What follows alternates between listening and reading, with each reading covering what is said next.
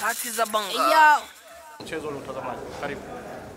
Eh, kwanza nashukuru Mungu kwa tumemaliza eh, salama na na kuweza at least kumaliza clean sheet, sijafungwa goli.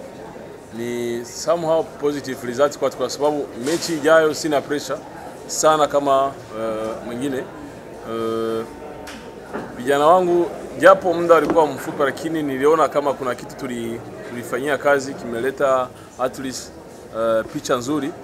Na imani kuwa uh, tukiendeleza kile ambacho tulifanya tutapata tena muda at least wa siku ngapi ku, kuandaa.